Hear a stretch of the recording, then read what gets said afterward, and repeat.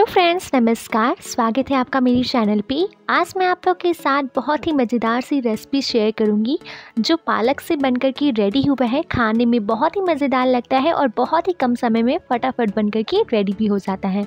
ऊपर से बहुत ही क्रिस्पी करारी है, अंदर से बहुत ही सॉफ्ट और मज़ेदार सी आप इसे टमाटो केचप के साथ खा सकते हैं, हरी चटनी के साथ खा सकते हैं या ऐसे भी खा सकते हैं, बहुत ही मज़ेदार लगती है। तो चलिए फटाफट से बना करके रेडी कर लेते हैं।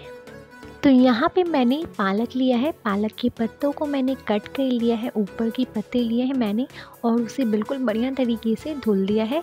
और वैसे भी ठंडियाँ शुरू होते ही मार्केट में ताज़े ताज़े हरे हरे पालक मिलने स्टार्ट हो जाते हैं। तो इसकी रेसिपी बनाकर ज़रूर ट्राई कीजिएगा। तो अब पालक को बिल्कुल बारीक बारीक कट कर लेंगे।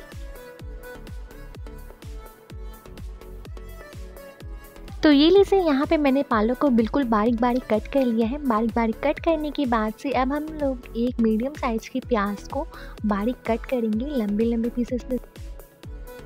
आप चाहें तो इसे बारीक भी कट कर सकते हैं। तो यहाँ पे मैं बिल्कुल लंबे लंबे पीसेस में, मोटा भी रहेगा तो चलेगा, इस तरीके से कट कर लेंगे।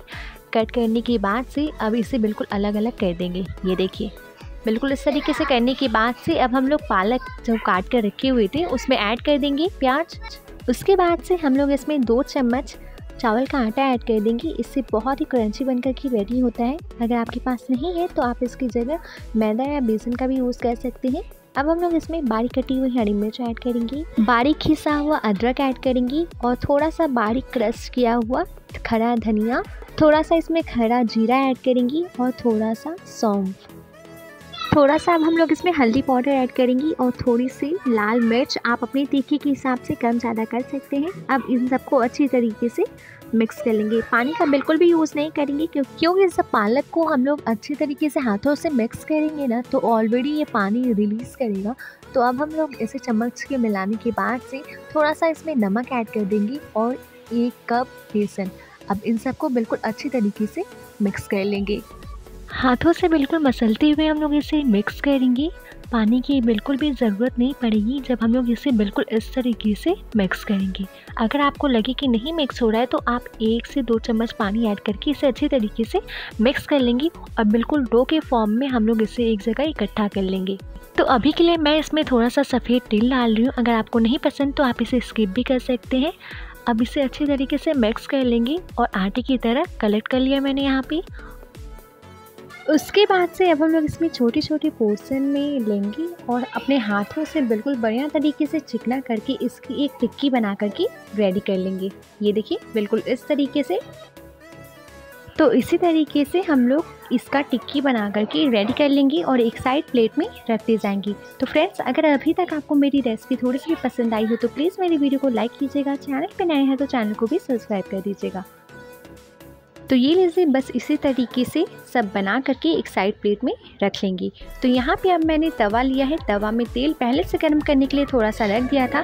तेल जैसे ही गर्म हो जाए, अब बस इसमें सारे बने हुए टिक्की को डाल करके दोनों साइड से बिल्कुल क्रिस्पी करारी होने तक दोनों साइड से फ्राई कर लेंगे। तो देखा ना आपने, पालक से कितनी मज़ेदार और एकदम झटपट सी रेसिपी बनकर के रेडी हो गई है। जब आप इसे खाएँगे तो आपको यकीन नहीं होगा कि आपने इसे पालक से बना करके रेडी किया है।